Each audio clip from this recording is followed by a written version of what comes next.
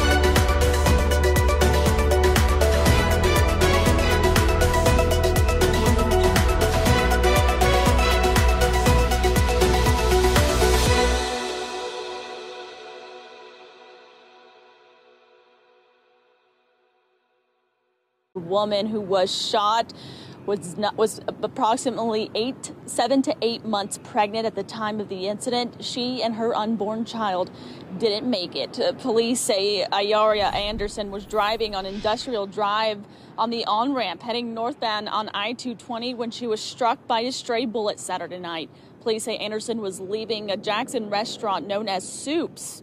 Uh, that's restaurants on Country Club Road. Police found her in her black Nissan Altima on that on ramp. She was taken to the hospital where an emergency C section was performed, but the baby didn't make it. It's so sad. It's unfortunate that this young lady lost her life. You know, she was, she was an in, innocent victim. Um, but, you know, we have to do everything we can, you know, as, as the local government to try to help JPD staff, retain, recruit, raise salaries, and keep them safe and, and, and try to get as many police officers as we can on the ground. Um, but cameras would be a, a big deterrent.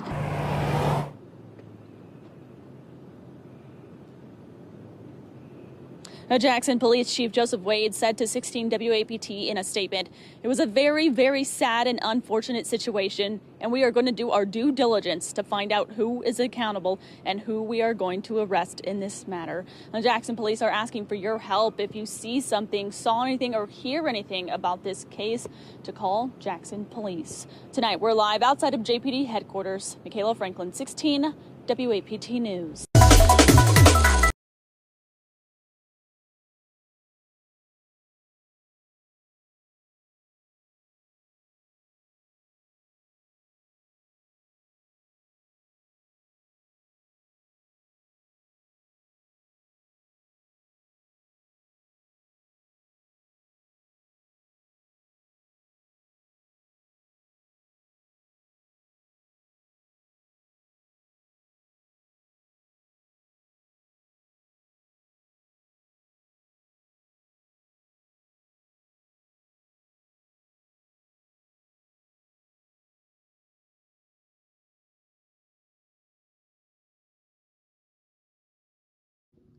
Thanks for watching.